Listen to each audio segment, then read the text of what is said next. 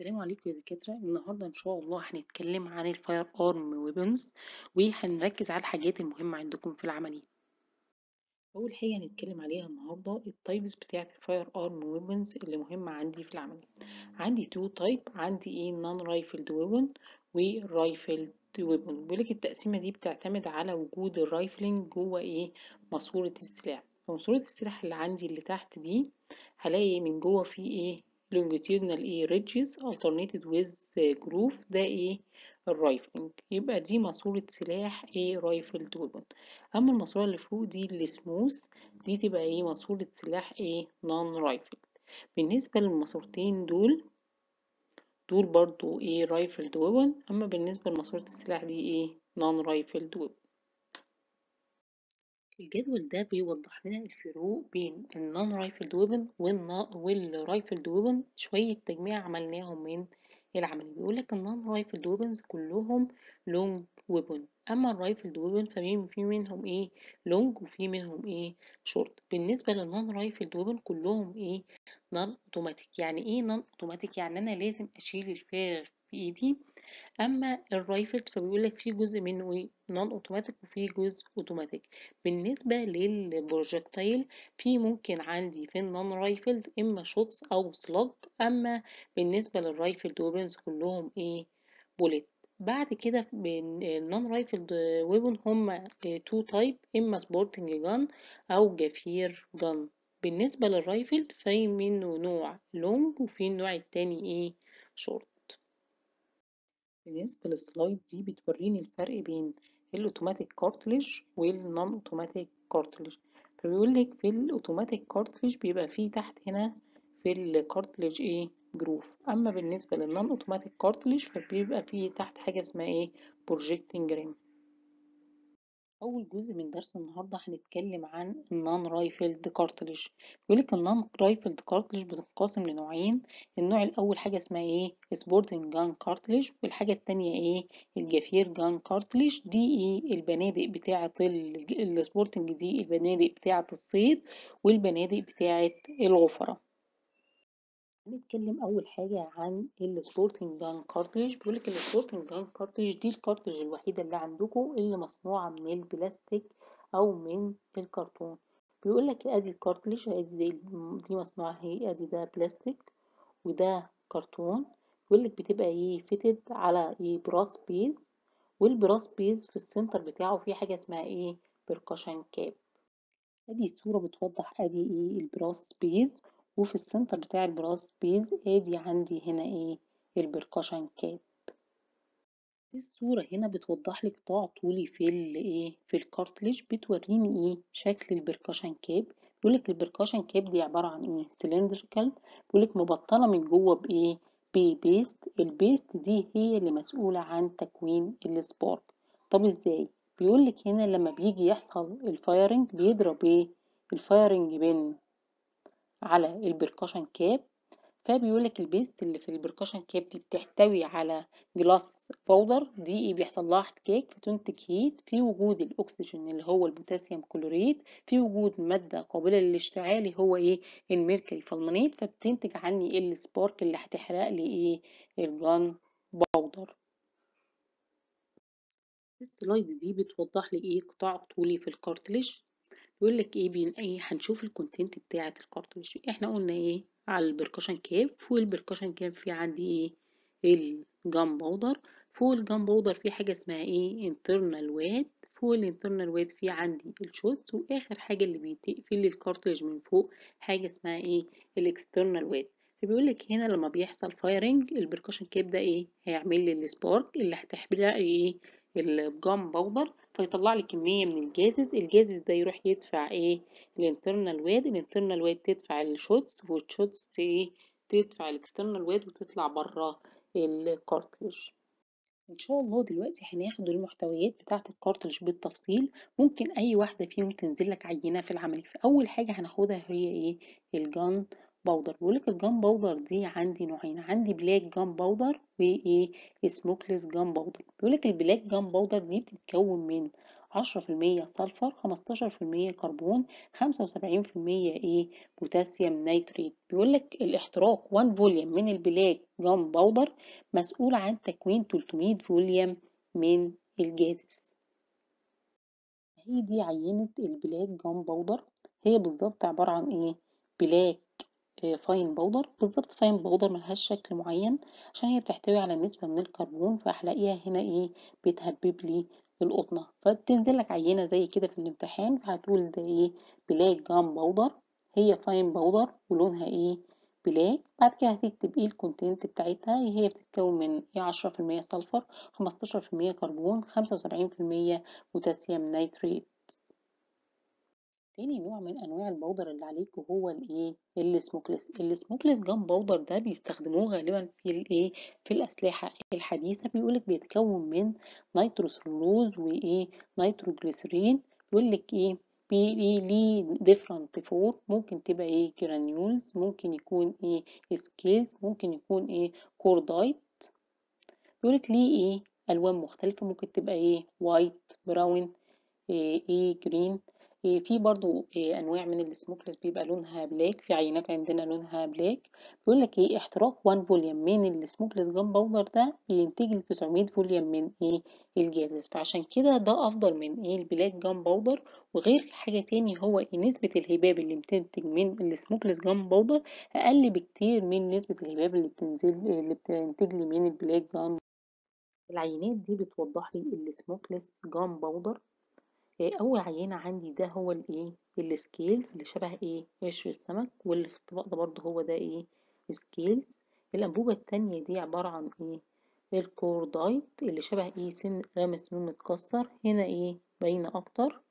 وآخر أنبوبتين دول هما إيه ال granules وده برضو إيه granules ممكن تنزل لك أي أنبوبة من الأنابيب دي. هكتب هو ده عبارة عن إيه smokeless gun powder أكتب ال form اللي جايلي لونه إيه بعد كده بكتب إيه ال component بتاع بتاعتهم هو إيه nitrocellulose و nitroglycerin وآخر حاجة بكتب عندي إيه ال differential diagnosis اللي هو إيه ال other form قلنا بعد ال gun powder في عندي في حاجة اسمها إيه ال internal wad ال internal wad ده عبارة عن بيقول لك إيه thick disc مصنوع من البلاستيك أو من الكرتون أو من الفلين بيقول لك أهم حاجة وظيفته بتاع بيعمل كايه بيعمل كبستون يعني إيه piston ال piston ده يعني كمكبس. ليه بيعمل كمكبس؟ عشان هو إيه keeping ال gases behind it و prevent إيه their escape between إيه ال shots بيخلي ال gases وراها ما بيمنع إيه تفلتها بين ال shots عشان ما تفقدش قوتها. دي بتوضح لي ادي ال internal wad ممكن تجي لك عينة زي كده هكتب ده عبارة عن إيه؟ ده ال internal wad وبعد كده هكتب إيه؟ ال function بتاعتها اللي إحنا إيه؟ لسه قايلينه هو إيه؟ بيستون هو keeping إيه؟ ال gases behind it to prevent إيه their escape بعد كده عندي في ال cartridge الايه ال shots ال shots ده عندي إيه؟ إما تبقى إيه؟ regular rounded إيه؟ machine made أو ال irregular إيه؟ home made ومنساش ال shots بتاعتي دي بتبقى مصنوعة من ال lead إيه ممكن تجيلي عينة زي كده. هقول ده إيه؟ shots machine إيه, إيه made أديني شايفهم إيه؟ regular كور صغيرة خالص ومصنوعة من ال lead والعينة دي برضو هي إيه؟ machine made بعد كده آخر حاجة عندي في ال cartridge اللي بتقفل ال cartridge من فوق ده إيه؟ ال external wad عبارة عن إيه؟ إيه؟ thin.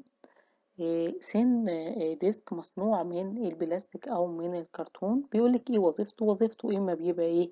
covering ال shots أو الحاجة التانية إيه؟ keeping them in place هيجي لك عينة زي كده. هقول ده إيه؟ external wad وأقول ال function بتاعته. بكده بنكون خلصنا ال content بتاعة ال classical cartridge ده ال classical cartridge بتاعة الإيه؟ ال sporting gun بيقول لك بدأوا إيه طبعا إيه يغيروا في ال content بتاعة ال cartridge بتاعتي عشان يزودوا ال accuracy وال efficacy بتاع ال firing بيقول لك راحوا إيه من ضمن الحاجات اللي عملوها في حاجة اسمها إيه؟ polythene cup زي هنا موضح عندنا في ال cartridge دي بيقولك ال polythene cup دي ال polythene cup بيقولك بتعمل إيه؟ وظيفة ال internal wad يعني ال cartridge دي ما فيهاش internal wad بيقولك إيه إضافة هي إيه؟ من فوق فيها cup ال cup ده إيه؟ بإيه؟ بيبقى مرصوص جواه ال shots وظيفته هو إيه؟ hold ال shots بيقولك الايه ال polythene cup دي ليها وظيفة إيه؟ ليها ممكن تعمل حاجة تانية هي إيه؟ ممكن تعمل لي wound لو إيه؟ خبطت في جسم الإنسان. اهي ممكن يجيلك إيه عينة زي كده ده إيه ال polythene cup عبارة عن أهو أدي الحتة دي مكان ال internal wad وال cup اللي من فوق ده هو اللي إحنا بنرص فيه ال shots وهكتب الوظيفة بتاعته هي إيه hold ال shots والحاجة التانية هي ممكن تعمل لي wound بس في ال small range وبكده نكون خلصنا أول نوع في ال non-rifled cartridge اللي هو ال sporting gun cartridge وبعد كده هنتكلم عن الجفير gun cartridge ده النوع التاني. بيقولك الايه الجفير gun بتحتوي على ثلاث أنواع اللي هو إيه نوع اسمه Greener ونوع اسمه شنايدر وتالت نوع نوع اسمه إيه Remington بيقولك ال cartridge بتاعة الجفير شبه ال cartridge بتاعة ال sporting بس بتختلف فيها ثلاث اختلافات. بيقولك أول حاجة الجفير gun cartridge بتتكون من ال brass. بيقولك بالنسبة لل content بتاعة الجفير دي في عندي النوع اللي اسمه Greener بيحتوي على اللي بيحتوي على big shots أكبر من ال shots بتاعة ال sporting وفي النوعين اللي هو ال Schneider وال Remington دي ال cartridge بتاعتهم بتحتوي على الإيه؟ ال slug. بيقولك ال slug دي حاجة semi-cubical انصاف مكعبات ومصنوعة من ال lead. بيقولك بعد كده بيقولك الجفير gun cartridge برضو بتختلف عن ال sporting فيه هي إيه ما بتحتويش على external wad بيكتفي هو ما بيعملوا إيه bending للطرف بتاع ال cartridge أهي صورة للجفير cartridge أهي كلها مصنوعة من ال brass وادي ال end بتاعتها هي إيه؟ مقفولة عن طريق هم إيه عاملين لها bending على نفسها ما بتحتويش على external wad. أدي هنا إيه أدي ال bending دي صورة بتوضح لي الايه ال slug اللي هو إيه ال semi-cubical اللي هو شبه إيه أنصاف مكعبات. ممكن تجيلك عينة زي كده في الامتحان هكتب دي إيه slug small half إيه cubes تاني حاجة إيه مصنوعة من ال lead وممكن بتبقى موجودة في الايه شنايدر و Remington بعد كده إن شاء الله هنتكلم على النص الجزء التاني من الدرس اللي هو إيه ال rifled cartridge لك ال rifled cartridge بينقسم إلى نوعين long service و short إزاي بفرق الايه ال cartridge بتاعة ال long service عن ال cartridge بتاعة الشورت بيقول لك أول حاجة حكاية الطول ال long service بتبقى إيه؟ طولها إيه؟ أطول نسبيا بالنسبة للايه للشورت. تاني حاجة بيقولك ال cartridge بتاعتي. لو من فوق موجود فيها ال bullet بيقولك ال bullet بتاعة ال long بتبقى إيه؟ طولها long وبتبقى إيه؟ نهايتها tapering أما بالنسبة للشورت فالايه ال bullet بتبقى إيه؟ شورت ونهايتها إيه؟ blunt ال types بتاعت ال rifled cartridge زي ما قلنا في نوع عندي long service cartridge والحاجة التانية إيه, إيه شورت يقول لك كل نوع ال long دي بينقسم ل two subtype عندي إما يكون إيه اوتوماتيك أو non-automatic وبرده نفس النظام الشورت ممكن يكون إيه automatic و non-automatic يقول لك ال short automatic إيه weapon ليه اسم هو اسمه إيه automatic pistol. في نفس النظام هو ال short non-automatic weapon ليه اسم هو إيه ال revolver ده إيه مسدس الساقية. يعني أنا لو جات لي cartridge في الامتحان هي cartridge short و automatic لازم أكتب هي دي إيه بين قوسين هي دي إيه ال cartridge بتاعة ال automatic pistol. لو جات لي ال cartridge بتاعة ال short non-automatic برضو لازم أكتب إيه دي ال cartridge بتاعة ال revolver بعد كده هنتكلم عن أنواع ال bullets. ال bullet ممكن تبقى إيه long أو شورت. زي ما قلنا قبل كده ال long bullet بتبقى إيه long وايه و tapering زي في الصورة اللي هنا.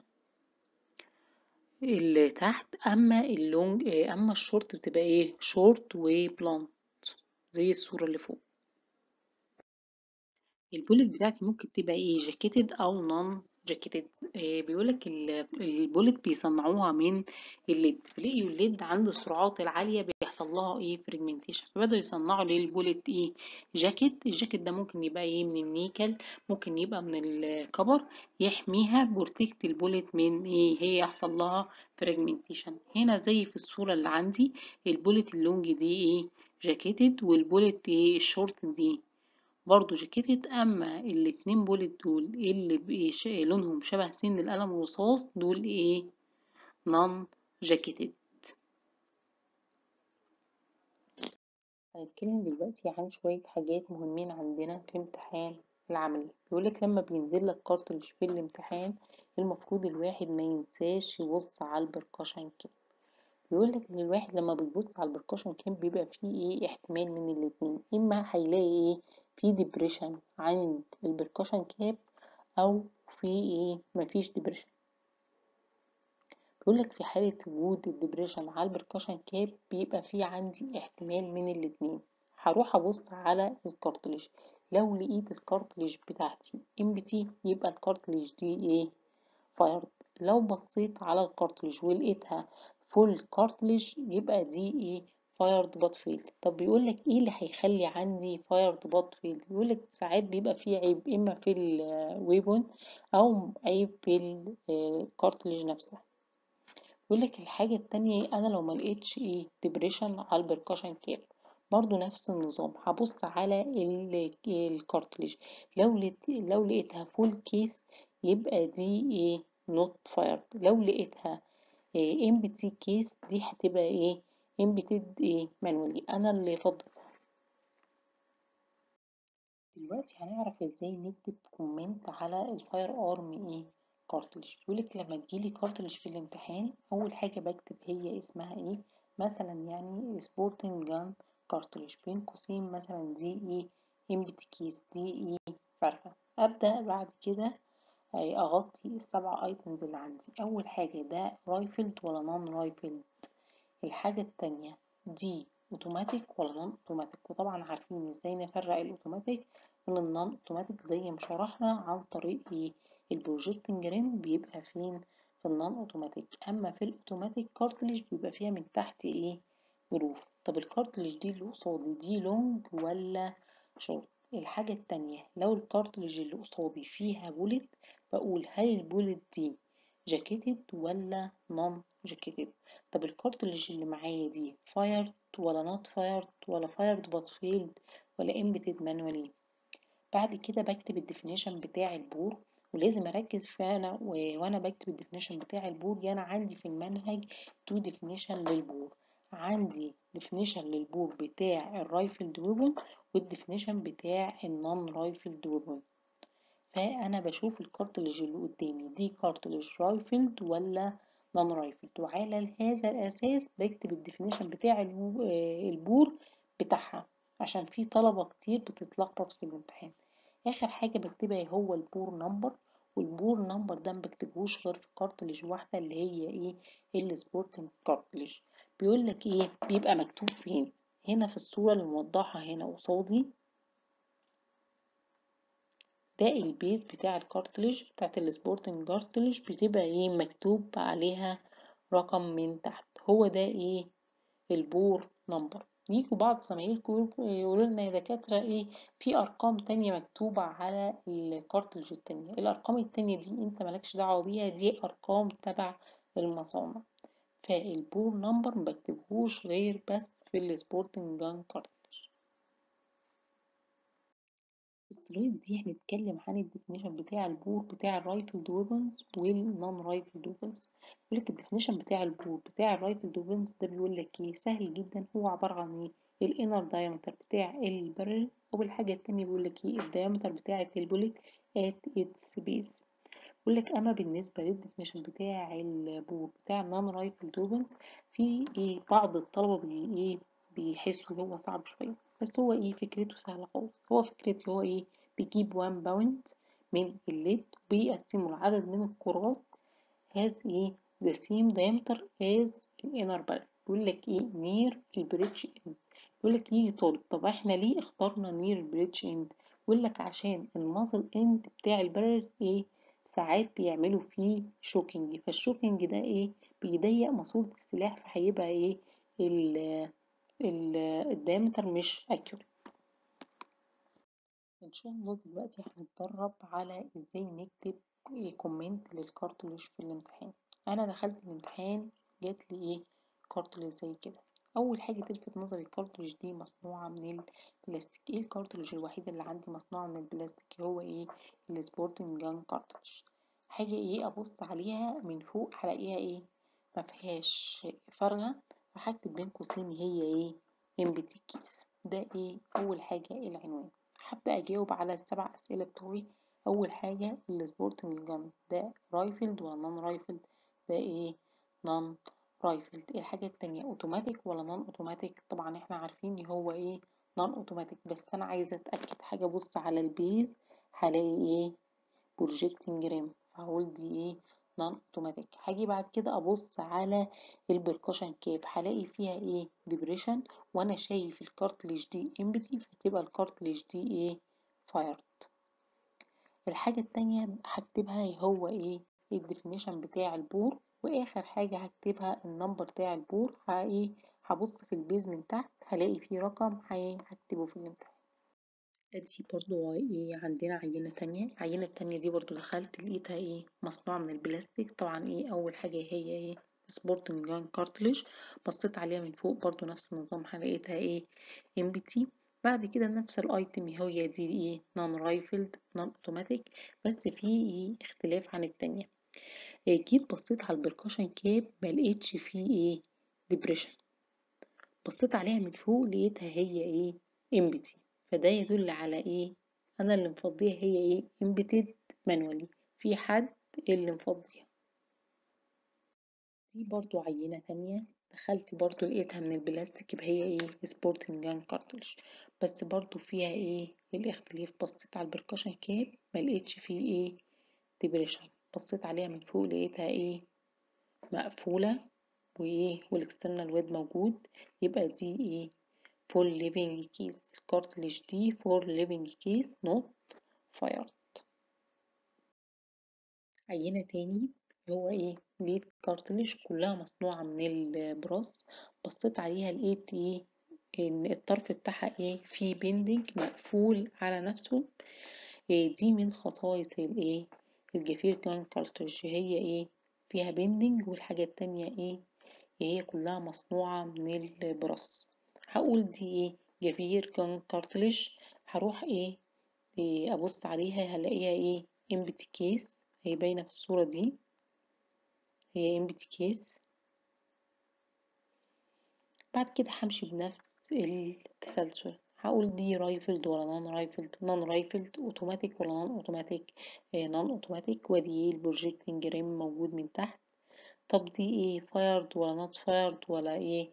ولا emptied manually هروح أبص على إيه؟ ال percussion cap مش هلاقي إيه depression على ال percussion cap هروح أبص عليها من فوق هلاقيها empty تبقى دي emptied إيه manually. وبعد كده آخر حاجة هكتب ال definition بتاع ال bore عينة تاني. برضو نفس النظام هي إيه؟ مصنوعة من ال brass. الحاجة التانية هي إيه؟ طرفها فيها bending هبص على من فوق هلاقيها إيه؟ empty هكتب بين قوسين هي إيه؟ empty case. هروح نفس النظام. هي إيه؟ rifled ولا non rifled؟ automatic ولا non automatic؟ الحاجة التانية حاجة إيه؟ أبص على ال percussion cap هلاقيها إيه؟ في depression وفي وأنا عارف هو من فوق هي إيه؟ empty يبقى دي إيه؟ fired وآخر حاجة هكتبها ال definition بتاع ال bore وبكده نكون خلصنا الجزء بتاع ال non rifled إيه cartridge وهنبدأ في الجزء بتاع ال rifled cartridge بيقولك ال rifled cartridge ده زي ما قلنا قبل كده قلنا في منه إيه long وفي منه إيه شورت وال long في منه automatic و non automatic ونفس النظام الشورت في منه إيه automatic و non automatic الحاجة التانية اللي قلنا لو عندي full case من إيه rifled إيه cartridge هلاقي في ال cartridge بتاعتي فيه إيه من فوق في عندي bullet بعد كده إيه حاجة أشوف هنا العينة. اللي عندنا هلاقي إيه cartridge مصنوعة من ال brass الحاجة التانية إيه, إيه طولها تعتبر إيه طويلة بالنسبة إن شاء الله للعينات اللي هنشوفها بعد كده بتاعة ال short cartridge بعد كده ببص على ال bullet اللي عندي من فوق هلاقي ال bullet بتاعتي دي إيه long وايه tapering فهتبقى ال cartridge دي بتاعت إيه يبقى cartridge of long service rifle weapon هبدأ بعد كده أجاوب على السبع أسئلة بتوعي. أول حاجة هنا عندي إيه ده rifled ولا non rifled دي جاوبنا عليها هو إيه rifled automatic ولا non automatic؟ هروح أبص على إيه؟ ال base هلاقي projecting rim يبقى ده إيه؟ non automatic. إيه fired ولا not fired هروح أبص على إيه؟ ال base من تحت. هلاقي فيه إيه؟ depression على ال percussion cap بس في نفس الوقت إيه؟ موجودة عندي ال bullet. يبقى دي إيه؟ fired but failed إيه؟ full case بعد كده طب ال bullet اللي عندي دي jacketed ولا non jacketed إيه؟ دي jacketed وبعد كده بكتب ال definition بتاع ال bore عينة تاني. العينة هبص على ال cartridge هلاقيها إيه؟ طولها إيه؟ طويلة. نسبيا لل إن شاء الله الايه ال cartridge ال short اللي إحنا هنشوفها بعد كده. دي عبارة عن إيه؟ long service weapon هروح أبص إيه؟ مش موجود فيها bullet من فوق يبقى دي إيه؟ بين قوسين empty case نفس النظام. هي rifled ولا non rifled لا دي إيه؟ rifled إيه الحاجة التانية؟ اوتوماتيك ولا non automatic هروح أبص على إيه؟ ال base من تحت. هلاقي فيها إيه؟ آدي ال groove. هلاقي إيه؟ groove. الحاجة التانية دي ما فيهاش ال bullet. يبقى إيه؟ هروح أبص على ال percussion cap من تحت. هلاقي فيه إيه؟ depression في ال percussion cap يبقى الايه ال cartridge بتاعتي دي fired بين قوسين إيه؟ empty case بعد كده هكتب الايه ال definition بتاع ال bore بتاع إيه؟ rifle weapon عينة تاني برضو نفس النظام إيه cartridge الايه نسبيا هي إيه طولها إيه طويل.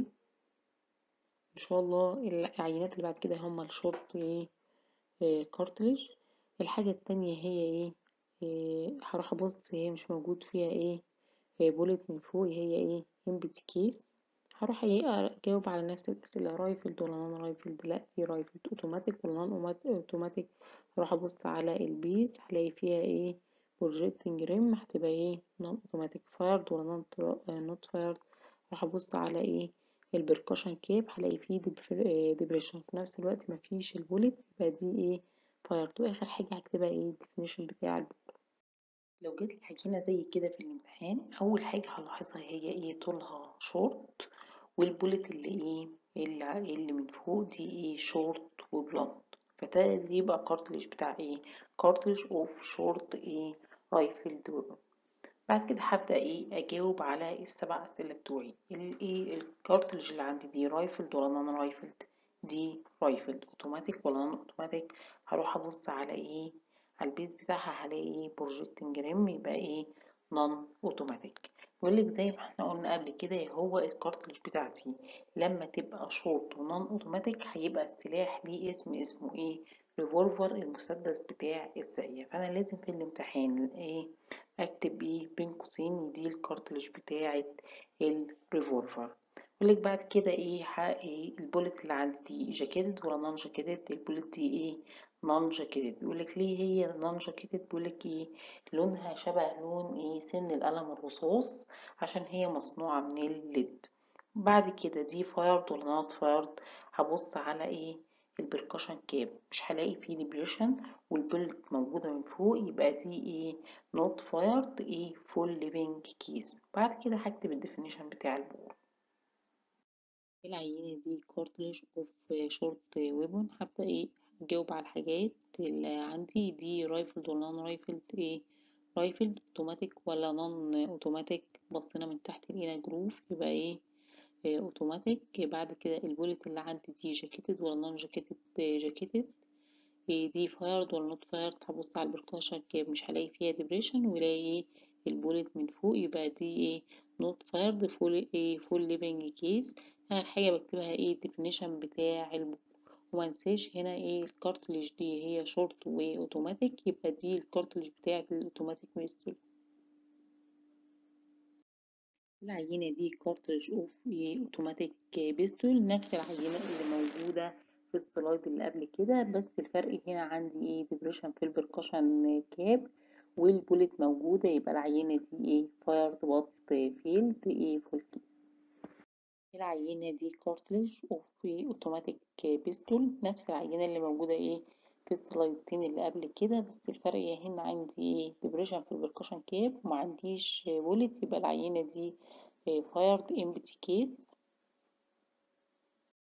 العينة دي bullet of long service rifled weapon ال bullet مالها jacketed الحاجة التانية هي إيه fired عرفت من فين هي fired عليها إيه primary rifling mark وبعد كده بكتب ال definition بتاع ال primary rifling mark العينة دي إيه bullet of long service rifled weapon هي عندي دي jacketed extracted manually لو قلنا عليها هي extracted manually عشان ملهاش ال primary rifling mark عليها شوية scratches بس. كده إن شاء الله يا دكاترة نكون خلصنا الدرس بتاع ال firearm weapons وبالتوفيق إن شاء الله يا دكاترة